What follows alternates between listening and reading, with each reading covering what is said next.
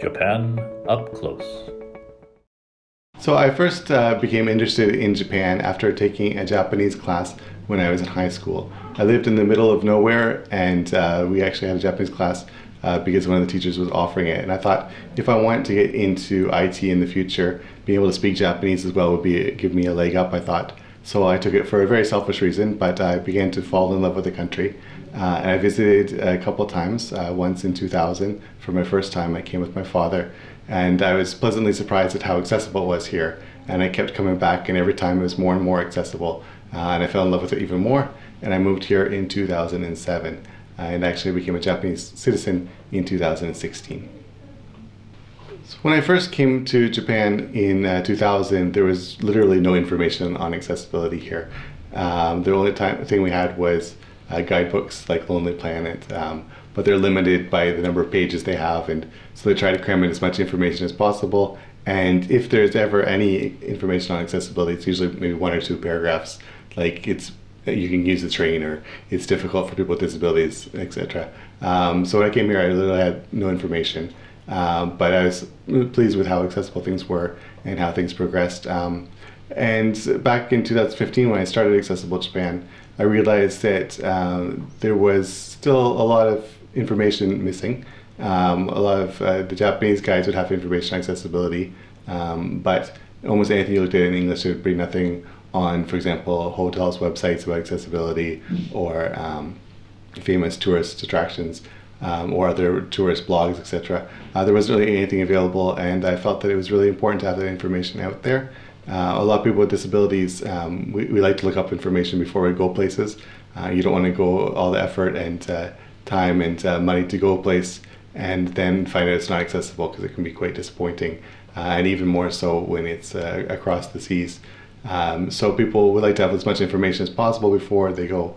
And I think also a lot of people have misunderstandings about what it's like here in Japan.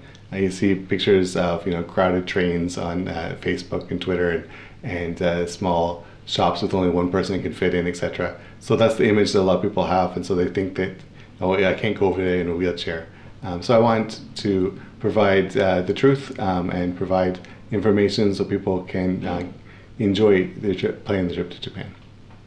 One of the things that I've been most impressed with in Japan is the the pace at which uh, Japan has tackled accessibility. Uh, the first time I came was about 20 years ago, and maybe only about 30% of the train stations were accessible. Um, but the, the staff made as many accommodations as they could to help me get around. It even meant, you know, taking fun trips through the back ends of uh, stations and seeing things that most people didn't see. Um, but every time I came back, uh, every two or three years I came back, there are more and more places I could go, uh, more and more places I could access.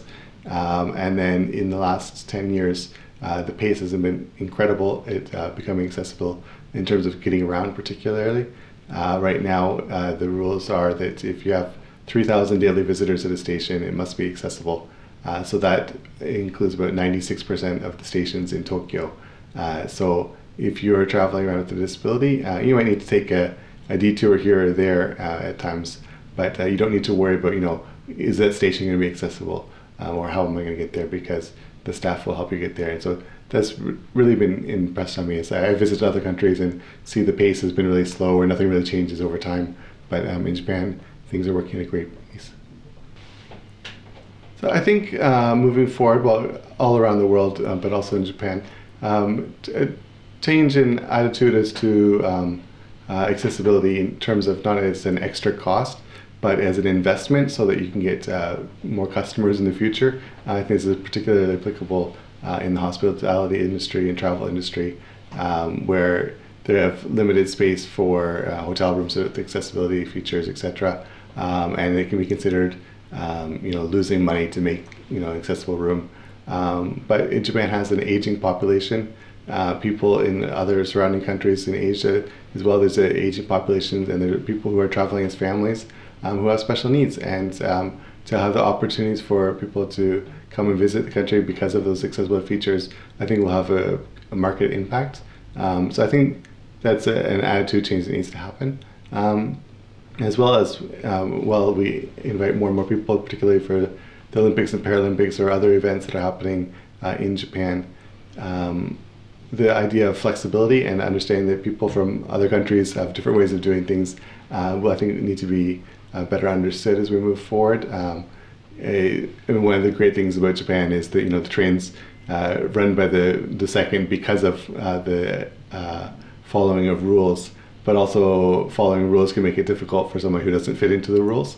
Um, and so because of that, I think that there needs to be both uh, you know appreciation of the rules, but also um, understanding that there are special cases and they, they take things more on a case by case basis. Um, so, for example, if uh, somebody in a wheelchair can't take the normal route through a Japanese garden, um, you know, it'd be okay for them to go through the staff pathway uh, to access the next area if that's the, the way that they can do it.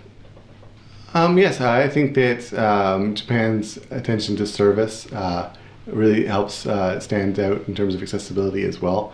Uh, for example, if you're riding the train in Japan, uh, you'll be greeted by a staff uh, member who will put out a ramp for you to get on the train. Uh, but not only that, they will call ahead to any uh, transfers you have or to your final destination, uh, even letting them know what car you're in and what time you'll be arriving at. So when you arrive at your destination, somebody is waiting for with for you with a ramp to get on and off easily. And I think you don't see that in a lot of other countries that, that I've visited. Um, and so I think that attention to detail is also really incredible.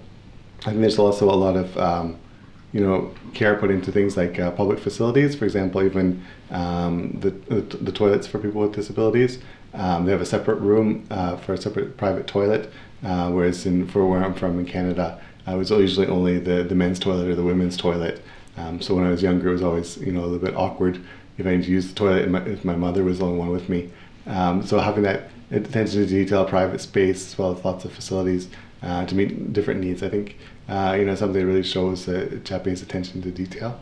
Um, and you can feel also that service at other, areas as well. A lot of uh, the tourist attractions lately uh, have been putting more and more thought into uh, making their places more accessible for people who are elderly to or have baby carriages um, or have disabilities. Uh, one of my favorite places is Sensoji in Asakusa, and uh, for a number of years now, they've had uh, more and more accessibility features added. Uh, they removed all the steps all the way up to the temple. Uh, they've added an elevator in. Uh, multiple accessible toilets are available. So even if you're in a wheelchair, you can do all of the things that everybody else does.